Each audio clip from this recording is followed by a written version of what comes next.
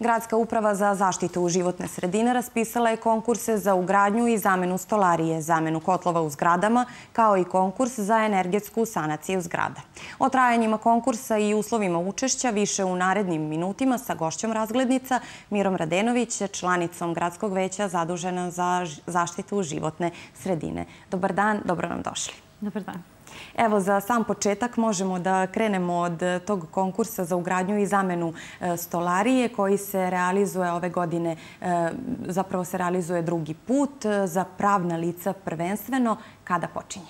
Pa da, ono što je, ono što je važno da napomenemo jeste da je grad Novi Sad zajedno sa Ministarstvom energetike obezbedilo određena sredstva. Ove godine su to značajno veća sredstva nego što je to bilo prošle godine za ugradnju stolarije e, za porodične kuće, odnosno više porodične objekte. Znači i zgrade i i, ove, i kuće su u pitanju.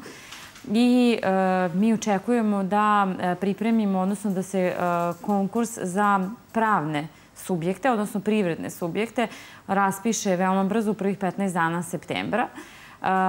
To je prvi deo konkursa. Sljedeći je konkurs za građane, kada će građani moći da biraju kog od privrednih subjekata koji su prošli na konkursu ovom koji će uslediti vrlo brzo, mogu da odaberu ovaj, da bi zajedno sa njima, odnosno sa njihovom ponudom, konkurisali za subvenciju za ovaj, zamenu stolarije. Kako su iskustva od prošle godine, koliko se porodica javljalo, da li su to bile porodice iz manjih sredina ili iz većih? Pa ono što je naše iskustvo od prošle godine jeste pre svega da su građani jako zainteresovani. Mi smo prošle godine dodelili negde oko 330 subvencija. E, odnosno e, nešto više građana se prijavilo nego što smo mogli da ovaj, dodelimo, ali je svakako e, nam je bilo jasno da su građani veoma zainteresovani za ovu meru. To smo, Ovaj, to smo videli i sada u ovom proteklom periodu jer svi nekako zovu i raspituju se upravo za ovaj, za meru dodale subvencija za zamenu stolarije i čini nam se da je to nekako najinteresantnije za građane. Što se nas tiče kao lokalnu samoupravu i pored tog i ministarstvo, ono što je naša politika jeste da se ovaj, što više uh, zapravo kuća stanova izoluje, što je moguće bolje, da se smanji korišćenje energenata i potrošnja ovaj, i električne energije i energenata koji se koriste za zagrevanje prostorije kako bi se na taj način i čuvala životna sredina. E, imaju dovoljno vremena i da pripreme dokumentaciju koja je neophodna? Pa u principu imaju da dovoljno vremena. E, kažem vam, prvi deo konkursa će biti za privredne subjekte i to je ono što interesuje njih. I to je ovaj, poprilično ovaj, lako za, ovaj, za konkurisati. Nema tu nekih velikih ograničenja, osim onoga da firme zaista moraju biti e, stručne u onome što rade i moraju biti pouzdane, jer to je ono što je nekako najvažnije da, ovaj, da sigurnost građana i njihovog dela sredstava bude, bude zagarantovana.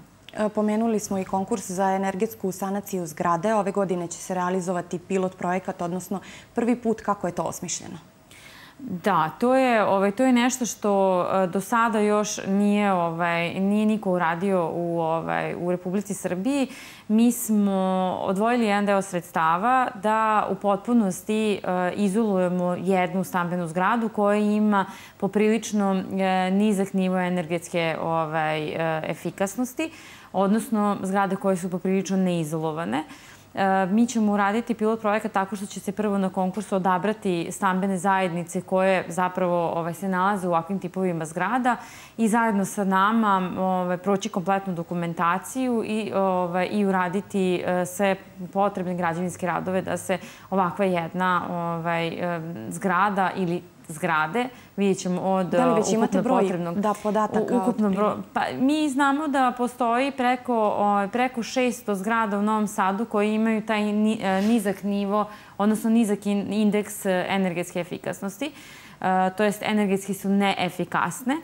E, to nije mali broj u svakom slučaju, posebno kada znamo da ovaj, je to korišćenje, e, da ta e, veliki, velika količina energije se prosto raspe i kada bismo sačuvali ovaj, tu, tu količinu energije računi za takve ovaj, stambene zajednice, odnosno stanove, će biti i do 30, odnosno 40% jeftiniji nego sada. Što je svakako značajno, što je značajno za stanovništvo. Posebno za budžet da. jedne, ovaj, jedne porodice, to je više nego, to je više nego značajno. Da pomenemo i konkurs za zamenu kotlova, također za, e, privat, za pravna lica je Tako je, otvoren. sad je trenutno otvoren, završava se 31 Eh, i eh, nakon eh, odabira pravnih lica koje će se, koje će se prijaviti ili su se već prijavile na, na ovaj konkurs, građani će moći da konkurišu da zamene svoje kotlove na čvrsto gorivo, odnosno na fosilna goriva, za, gore, za kotlove na biomasu ili ovaj, na gas i e, na taj način jel, e, doprinesu životnoj sredini s jedne strane, a sa druge strane jel, uštede u svom ovaj, kućnom budžetu. Ono što je važno, nivo subvencije iznosi 100.000 dinara i nekde oko 50 e, subvencije je na raspolaganju građanima, tako da Ove, ovog puta je ova mera ovaj, zajedno sa Ministarstvom zaštite životne sredine pripremljena. Znači imamo dva ministarstva koja pomažu ovaj, praktično e, mere energetske efikasnosti i zaštite životne sredine na teritoriji Republike Srbije. I samo za kraj kratko da pomenemo i kada je reč o ekologiji i ekološkoj svesti Novosađana, koje mere tu grad preduzima da taj nivo raste?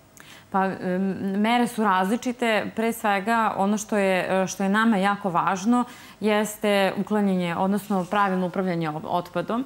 I, i ovog puta moram apelovati na građane da, ovaj, da ne odlažu ne odlažu ovaj, otpad na mesta za koja, na koja prosto nisu adekvatna za to, da divljih deponije imamo i previše i da prosto čistoća i radnici u čistoći ne mogu da stignu da sve to uklone, a rezultat je zapravo, odnosno razlog zašto se to dešava je nesavjesnost naših sugrađana.